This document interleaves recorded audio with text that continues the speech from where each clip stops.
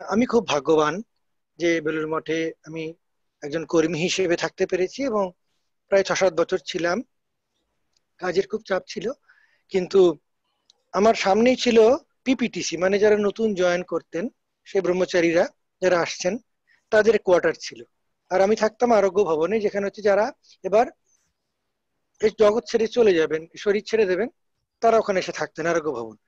যেন একটি বৃত্তের দুটি শেষ বিন্দুর কাছাকাছি আমি দাঁড়িয়ে আছি। যারা আসছেন এবং যারা চলে যাচ্ছেন, দুটো দেখতে পেতাম। একটা জিনিস অদ্ভুত, শ্রীরামকৃষ্ণ সংঘে ঠাকুর মায়ের যে এক অত্যন্ত বিস্তীর্ণ স্নেহ এবং অভয়ের আঁচল, সেই যে আনন্দ এবং সেই যে নিশ্চিন্তি এবং সেই যে অভয়, সেই জিনিস আমি এই দুপক্ষেরই চোখে দেখতে পেয়েছি। একটি নতুন ব্রহ্মচারীর মধ্যেও যেমন সে দীপ্তি এবং অভয় এবং আনন্দ, যিনি চলে যাচ্ছেন তারও চক্ষে সেই অভয় এবং দীপ্তি অম্লান। শুধু যারা চলে যাচ্ছেন, তাদের এই preparation for leaving this world এটা একটা অদ্ভুত জিনিস। বহু অভিজ্ঞতা আমার হয়েছে এবং যেটা আমি দেখতে পেরেছি যে ঠাকুরের কাছে, যেমন ঠাকুর বলতেন আমার পাঁচ সাজির ফুল, অনেক রকম ফুল, অনেক রকম মানুষ, তাদের ইউনিক গ্রোথ নিয়ে তারা বড় হচ্ছেন। আমাকে খুব সিনিয়র মহারাজ একজন বলতেন যে, দেখো, আমাদের সঙ্গে কোনো কিছু শিখিয়ে দেওয়া বুলি নেই। সবাই যে যার মতো বলেন, যে যার মতো কথা বলেন, যে যার মতো ভাবেন, স্বাধীনভাবে তারা কথা বলেন। কোনো হয়তো ভক্ত এলেন, তিনি এক একজন সাধুর কাছে এক এক রকম ভাবে সব জিনিস শুনছেন। একই রকম তিনি রিপিটেড কোনো বুলি শোনেন না। কারও কাছে মজা কারও কাছে বকুনি কারও কাছে ভালোবাসা, কারোর কাছে শাসন। বিভিন্ন ভাবে তারা বলছেন, কথা বলছেন এবং এরকম বিভিন্ন ফুলের মতো বিভিন্ন ব্যক্তিত্বকে আমি সামনে পেয়েছি। তার মধ্যে প্রেমিক সাধু পেয়েছি। কেউ জাপক, কেউ প্রেমিক, কেউ রাগী, কেউ কঠোর, কেউ কঠোরী, কেউ আবার পণ্ডিত, কেউ বিদগ্ধ, বিভিন্ন বিভিন্ন রকম পেয়েছি। তবে তাদের মধ্যে একটি জিনিস খুব সাধারণ দেখেছি। এটা খুব, জিনিসটা ছোট মনে হতে পারে, কিন্তু আমার কাছে খুব বড় মনে হয়েছে। সেটা হচ্ছে, তাদের ঠাকুর মা স্বামীজির প্রতি অকুণ্ঠ শরণাগতি।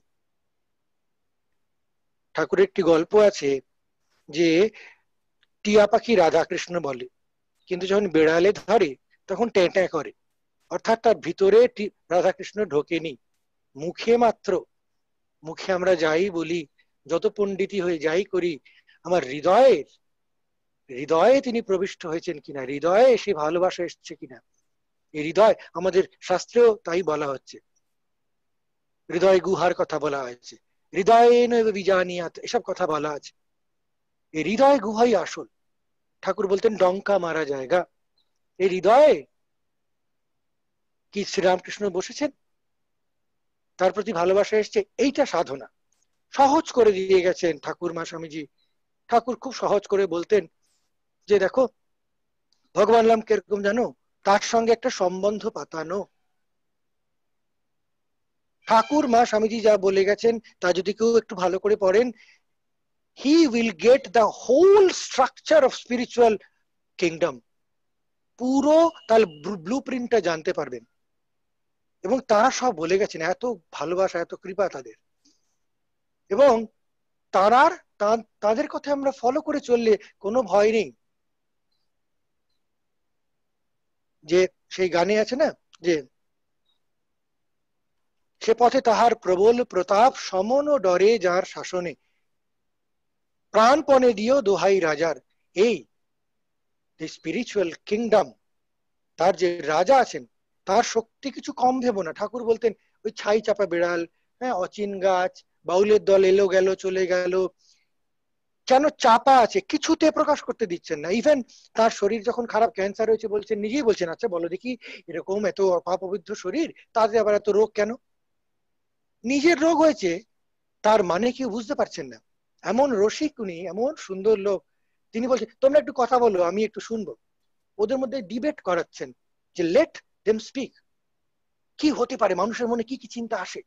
সেগুলো তিনি খুলে ধরছেন সবার সামনে ইচ্ছে করে। কেউ বলতে পারছে না। উনি নিজে বলছেন, কেন জানো? এর মানে আছে। এক অদ্ভুত এক্সপ্রেশন ঠাকুর বারবার দিতেন। বলতেন, এর মানে আছে। মানে মানে গভীর তাৎপর্য আছে।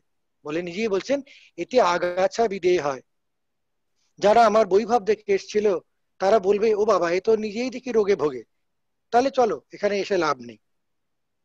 বৈভাবে আকৃষ্ট হতে হবে, এটা তিনি চাইছেন না। বিভূতি বাদ দিলেন, সিদ্ধি বাদ দিলেন, সব বাদ। যেটার জন্য আবহমান কল ধরে মানুষ ধর্মের, ধর্মগুরুর কাছে যায়, এটা ঠিক হবে, ওটা ঠিক হবে। ওয়ার্ল্ডলি গেমসগুলো আরও স্মুথ হবে। সব বাদ দিয়ে দিলেন। উনি চাইছেন যে তাকে, তার বিভূতি থেকে কেউ যেন না আসে। তাকে ভালোবেসে যেন আসে। নরেনকে একবার তো কোনো মতে একদম একাধিক ক্রমে প্রায় এক মাস কথা বললেন না। যে নরেনের জন্য উনি থাকতে পারছেন না। রাত্রিবেলা উঠে পড়ছেন। বলছেন, ওর জন্য আশা? অত বড় সত্যগুণী আধার আধার। নরেনের নিন্দা হচ্ছে। বলছেন, ওখানে শিব নিন্দা হয়েছে। ওই মাটি তুলে ফেলো।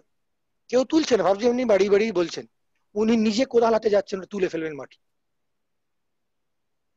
এত বড় কথা, এত বড় জিনিস। শিব তো এই নরেন এরা এদেরকে যখন নিয়ে এসছেন, শুধু তাই না নরেনকে, নরেনের কথা এত বেশি করে বলছেন যে, নরেনকে খুব ভালোবাসে? নরেন বলেছে, ভালো, তাহলে ভালো। এদের এদের সঙ্গে কথা বলছেন, নরেনের সঙ্গে কথা বলছেন, একুশ দিন হয়ে গেছে, এক মাস হয়ে গেছে, হঠাৎ বলছেন, এবং সে সে কি ভয়ঙ্কর উপেক্ষা। নরেন বারবার আসছে, বলছে, দেখ, তুই আসিস কেন? আমি তো তোকে, তোর সঙ্গে কথাই বলি না। যে লোকটা প্রাণ ফেটে যাচ্ছে, সে লোক কথা বলছে না। বুঝতে হবে শ্রীরামকৃষ্ণকে। উনি তখন নরেন্দ্র বলছে, আপনি কথা বলছেন, তো কি হয়েছে? আমি আপনাকে ভালোবাসি, তাই আসি। এই কথা শুনে শ্রীরামকৃষ্ণ আনন্দে আত্মহারা। এটা বোঝার ব্যাপার আছে। তিনি এরকমই একটা চাইছেন, তাকে ভালোবেসে এক হইবে। মা বললেন, তার ভালোবাসায়, অর্থাৎ শ্রীরামকৃষ্ণের প্রতি ভালোবাসাতেই আমাদের সংঘ, সংঘবদ্ধতা, সংঘবদ্ধতার শক্তি। সুতরাং এই সংঘবদ্ধ জীবনে এসে বা নাও এসে সঙ্গের সঙ্গে বিভিন্নভাবে যুক্ত থেকেও। সাধু হতেই হবে এমন কোনো কথা অবশ্যই নেই। কজন সাধু হয়? প্রায় দুশোর কাছে আমাদের সেন্টার। সাধুর সংখ্যা কত? মানে অ্যাক্টিভ সাধুর সংখ্যা দেড় হাজারও নয়। সামান্য একটা টেক্সটাইল ফ্যাক্টরিতে থেকে বেশি লোক কাজ করে। কিন্তু ওই যে অকুণ্ঠ শরণাগতি, এটা আমি দেখেছি। তারা এটা এই অদ্ভুত ভালোবাসা। বিপদে পড়লে সেই পাখির মতো ট্যাঁটা করবে না, ঠাকুরের কথাই বলছেন। এক্ষুনি হয়তো অজ্ঞান হয়ে পড়ে গেলেন। সামান্য জ্ঞান এসছে, শ্রীরামকৃষ্ণের কথাই বলছেন। সেই হাসি, সেই আনন্দ, এই অভয়, অকপটতা এবং শরণাগতি, এগুলো সব সত্যগুণ থেকে হয়। এই লাভ খুব কম নয়। এবং এটা আমি দিনের পর দিন দেখেছি। সেজন্য আমাদের সাধুদের যে গুণগুলি প্রকাশিত হতে দেখেছি, সেগুলোর মধ্যে বেশিরভাগই হচ্ছে, তার মূল ভাবটি হচ্ছে এই ঠাকুর মা স্বামীজি তার সেন্টারে ঢুকে পড়েছেন। সেন্টারে অন্য কিছু নেই। বাইরে থেকে এই জিনিস বোঝা একটু মুশকিল, কিন্তু ভিতরে দেখেছি, যদি ঠাকুর কষ্ট দিচ্ছেন বা আনন্দ দিচ্ছেন, কিন্তু ঠাকুরই কেন্দ্র অন্য কিছু নয়। এটা আমি ছোট্ট করে বললুম আর কি। এর অনেক রকমের আরও ব্যাপার আছে, আরও সব অনেক সুন্দর সুন্দর গল্প কাহিনী আছে। তো এটা আমি দেখেছি যে যখন আসে, যেমন কেন বললাম যে ব্রহ্মচারী যারা আসেন, জয়েন করেন সাধু হতে তাদের মুখে, চোখেও সেই আগুন দেখেছি সে বৈরাগ্য ভয় দেখেছি। মহাপুরুষ মহারাজ বলছেন যে যে সঙ্গে যোগদান করার জন্য বেরিয়েছে, তাকে যেন সে নিশ্চিত যেন তুমি একজন সন্ন্যাসী। তোমার ব্রহ্মচর্য হয়নি, সন্ন্যাস হবে, সেগুলো সব আমাদের সাংগঠনিক ব্যাপার, একটা রিচুয়ালিস্টিক ব্যাপার। কিন্তু যে একবার তার কথা ভেবে সব ছাড়তে পেরেছে, উনি বলতেন, শিবানন্দজি বলতেন যে, তুমি you are verily a saint